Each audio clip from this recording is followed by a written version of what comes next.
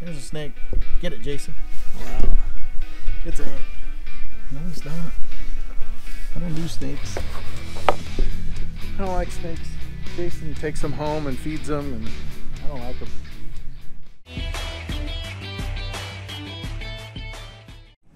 All right, everybody, welcome back. It's Ben. It's Monday morning. It's been a kind of a crazy Monday, but you can see it's a beautiful day out. And I'm going to run and meet up with Jason, one of our technicians. We're going to talk about voles and moles today. There's a little bit of confusion out there as far as what is a vole and what is a mole. And most of the confusion comes from when somebody's trying to see what's tearing up their yard. So you guys will remember we've done a few things with moles already. We did some uh, myth busting about juicy fruit gum and some other stuff for for moles. So we use a couple of different methods to take care of moles. We use some traps or we use the uh, CO2 machine and uh, we have pretty good success with it. But you can't treat moles if you don't know what they are or what they look like or if they're actually voles. So we have a customer and uh, they aren't sure if they've got moles or voles. So we're going to go look at it. That way we can price out what they need for service and get them taken care of. You guys put your guesses. Is it moles or is it voles?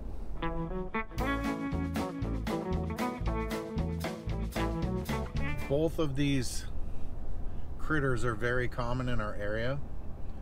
Uh, moles are funny looking. They've got big paddled feet that make them really efficient in digging and they tunnel and they eat earthworms. They can eat grubs and some other stuff like that, but they do prefer earthworms. That's their that's their steak and potatoes. Will you eat rice cakes? If that's all there is, yeah, you'll eat rice cakes. So one of the myths that people tell you is treat the grubs in your yard and that'll get rid of your moles. There's no guarantee. You treat the grubs, you're taking away one of their lesser liked food sources, but likely you've got worms in your yard, so that's not a guarantee that you're going to get rid of them. Anyway, that's neither here nor there. Now, voles. Voles are not in the same kind of rodent family. They are in a mouse family or a field mouse family. They look like a mouse, um, they don't have a tail as long as a mouse, and they do burrow in the ground. Their tunnels are typically either above or next to items instead of being a tunnel through the earth.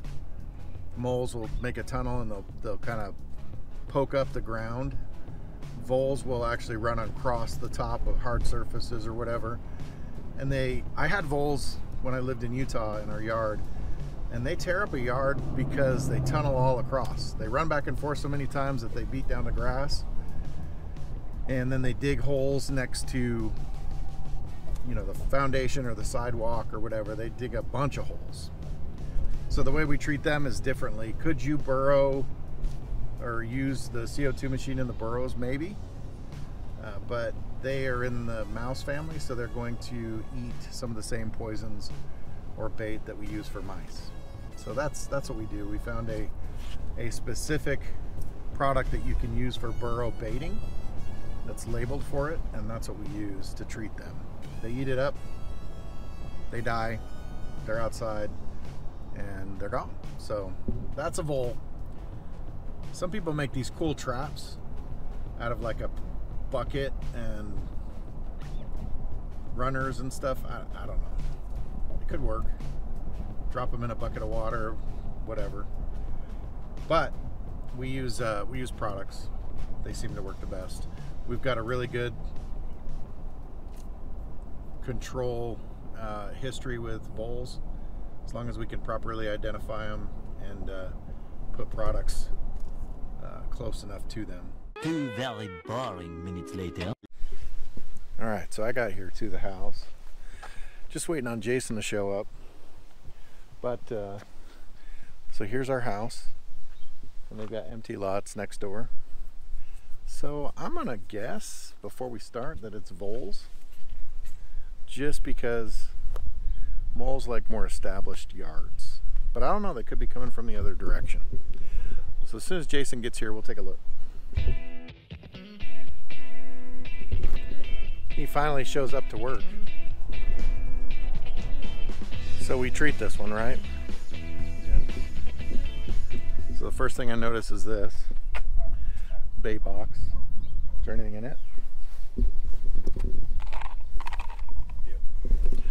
So that can be used for voles.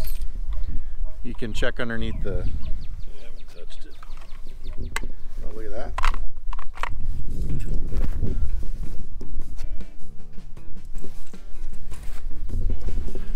They like voles like hard objects like the edge of the sidewalk or the edge of the house or underneath the splash blocks.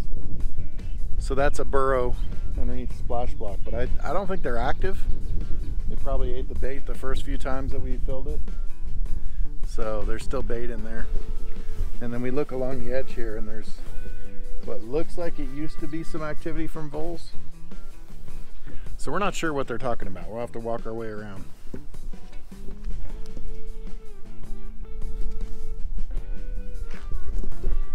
Right along the edge of the driveway, they got old vole trails, I believe.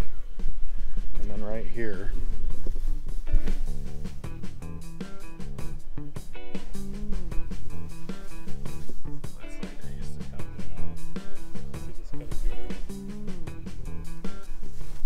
it's hard to see, but it kind of looks like trails. Top of the grass, that's going to be voles.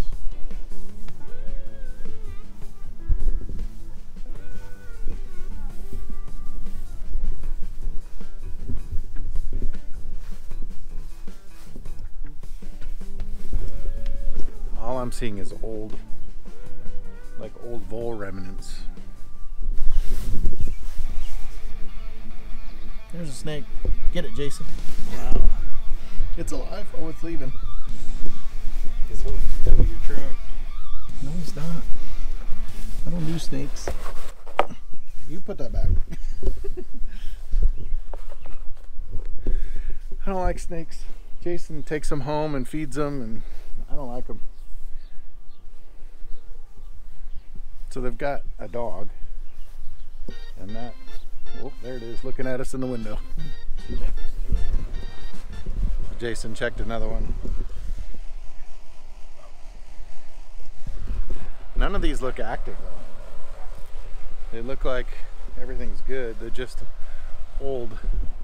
So you'll see a lot of marks in the yard with voles where they will trail across the top of the grass and then they'll jump into their holes. With moles, you'll have ground pushed up and you'll have mounds of dirt where they kick up their nests. There's no sign of moles here. The only thing we see are former voles. Anyway, that one's pretty straightforward. So when you're doing an inspection, what do you like looking for? I like looking for the trails of dead grass. Or like the little mudslides that they make. There ain't nothing that I'm seeing here. This one looks good. So if we take care of the voles, the remnants of the tunnels and stuff aren't going to fill themselves quickly anyway. So one of the things that we'll recommend is they get some topsoil and fill in like along the edge of the sidewalk and underneath those splash blocks. Just get some new soil on there. And then you'll know if that gets disturbed, if there's any more critters roaming around, but I'm not seeing anything active. It's too bad. I was hoping for like some big mess. This is a nice house, so there's no big mess. All right, so that's uh, an easy inspection for moles and voles. It looks like there was activity. He, the homeowner, called me and said it looked like a couple weeks ago they had some mole runs in the front yard. I couldn't see any evidence of it, so if for some reason they come back, he knows who to call. We'll come back out and, and see what's going on. It's hard when they're not active or there's not anything going on because there's no story for me to, to follow. But he's got this empty lot next door. So I, I guess I'm thinking, if anything, voles. But who knows? There could be moles in the area. And right now it's dried out a little bit. So they're going deeper and we won't see them. And when it rains, then they'll pop back up. But that's an easy inspection for for them. Just trying to see the difference. One tunnels in the dirt and one actually uh, digs holes. Moles don't like sunlight so if they have a hole that you can visibly see it's usually from a vole because they can deal with the sunlight. Moles want to be completely fixed and covered up. And if somebody does poke a hole in one of their runs they usually will go and patch it. Crazy. We're gonna patch a hole. That's one of the methods that we use on our traps. Is we will put a trap on a run, and then we'll poke a hole on either side of the trap, on both sides of the trap. So that way, if they're coming from this direction, they gotta patch the hole next to it, and then go through the trap and try to patch a hole on the other side, and vice versa. So, all right. So if you're looking at this video trying to figure out if you've got moles or voles, the main thing you want to look for is the runs. Are they above or below the ground? Is there big mounds of dirt? And is there a hole where they're burrowing?